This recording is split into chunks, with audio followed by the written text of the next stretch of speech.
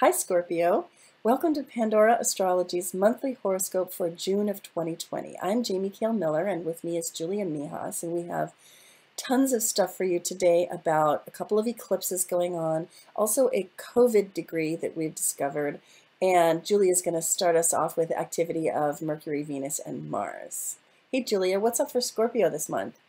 Well, sure, Jamie. Hey, Scorpio. So Mercury's going to start the month in the sign of Cancer, which correlates with your ninth house. And the ninth house has a lot to do with higher education. It's also a legal house, and it's also associated with promotion. So when on June 17th, when Mercury goes retrograde, that tends to be a time of review in our lives. So that means that you could be reviewing what you've learned at school. You might have to relearn some things. Um, it could also mean that if you're involved in any legal uh, cases, that you might have to review uh, what's going on there, as well as if you're involved in any type of promotion, you might have to sort of look over the work that you're doing and the message that you want to get across.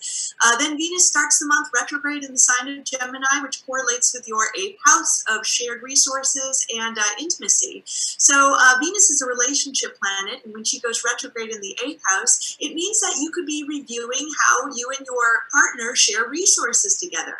That could be uh, any investments you have together together or any shared resources if you work towards a mortgage together as well. And also reviewing about how you and your partner are intimate with each other and whether that's satisfying enough for you.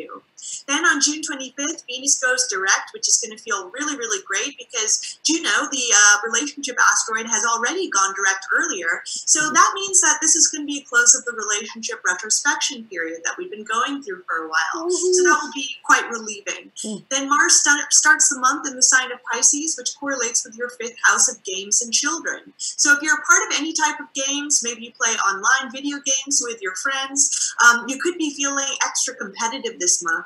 And since, since Mars is also um, a planet that tends to be a bit conflict prone, if you have children, you could be having some kind of feisty arguments with them a little bit too during that transit. Then on June 27th, Mars enters the sign of Aries, which means it's going to be going into your sixth house of health. Um, it's a really good transit for initiating any new routines that you want to do which are supportive of your health, but it can also be a time when chronic conditions also act up a bit. Mm. So true. There are a couple of eclipses going on this month. The first of these is a lunar eclipse, which is happening in Sagittarius, right here, falling in your second house. And uh, a lunar eclipse is a time when a lot of unconscious emotions get stirred up. And this particular one is going to be pretty fiery because Mars is um, waist deep in it. So um, I've been saying keep a bucket of water around um, and channel passion, not anger during this one. And for you specifically, it falls in the financial house axis. So second house of money, your money, eighth house of other people's money. So there may be some arguments, some conflicts, some lines drawn in the sand relative to what's mine, what's yours, what's ours, what do we share, you know, and have we handled our taxes? So um, yeah, so keep it cool, you know, cool the jets around the 20th, there's another eclipse coming, and they do frequently come in pairs or even triples like that. This one is landing in your ninth house. It is a solar eclipse in the sign of Cancer. The ninth house is a house of growth and expansion. It's also a house of your worldview and your beliefs. So this particular eclipse could stir up some pretty strong feelings about your beliefs and some behaviors about that that are driven by unconscious forces. So become more self-aware about what you believe and how it may be similar to or differ from what other people believe.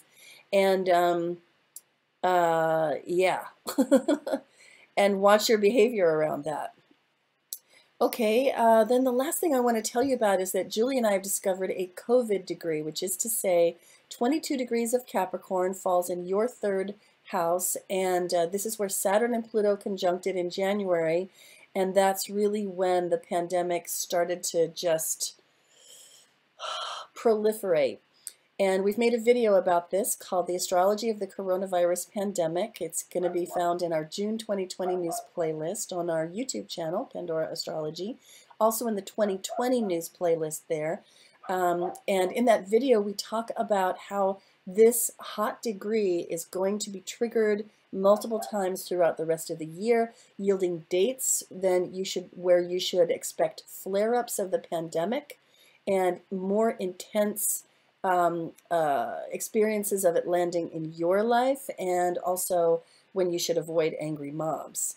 Now, because this falls in your third house, it's more likely to uh, affect you in the realm of ideas, in the realm of communication, and probably manifest as arguments. So stay off of social media, please, during those hot dates. Um, yeah, it's not going to be a fun place for you to be.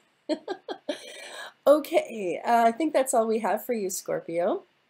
Um, there's a variety of themes covered this uh, this month in this horoscope, so uh, I don't think that you really need a focused reading, but if you want a reading that can answer all your questions, the natal and transit one is the one to get.